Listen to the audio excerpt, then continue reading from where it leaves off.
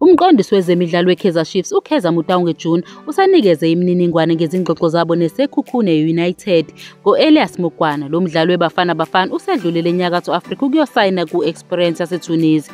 Motaung June udalula ukuthi uMokwana ubesevumelene neqembu ngemuva kokuthi behlangabezane nentengo kaBabina Nokho abeyifuna ngalo mdlalo oyiqili.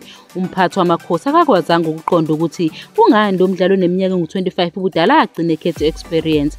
Sathumela isicelo futhi saba nezingxoxo ezibanzi nomnumzane Simon Malachi ophuma kuSekhukhune United.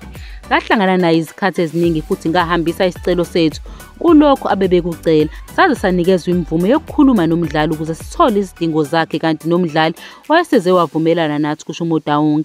Ngeke ngifuna ukungena emininingwaneni yesicelo se-experience abanikwa sona kodwa siyazi ukuthi esakubeka etafuleni futhi kudlula isiphakamiso esasenziwe experience ngaleso sikhathi ngakho ngikholwa ukuthi thina senza ukwethembeka. Ngifuna ukubonga iSekhukhune ngoba bakwazile ukuba nomdlali osezingeni lakhe futhi bamkhulisile ukuze akwazi ukukhombisa ithalente lakhe futhi basemalungelweni abo kumthumela kumaligi aphezulu e-Afrika.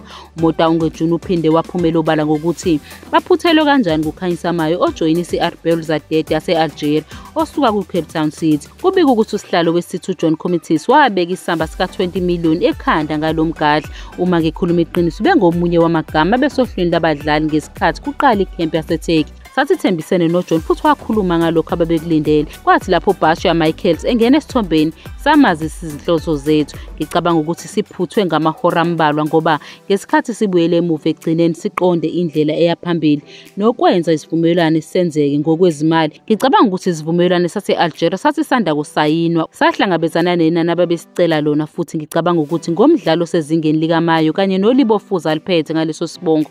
Uyise uPatrick Mayo owayedlalela iChiefs njengomgadla iprofile nendlela esasifuna ukuyisungula ngayo. Ngicabanga ukuthi ungumdlalo obengaba nomthelela omkhulu.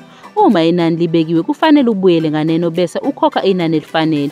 Ukube ubungibuza ukuthi yinani elifanele umdlali yini leli kwimakethe okwakufanele silikhiphe engingakusho ukuthi kwakufanele sihlangabezane nanoma iliphi inani ukuze siqinisekise ukuthi siphuma sonke sijabule ngoba kwakucacile ngohlobo lwezinga ababelifuna.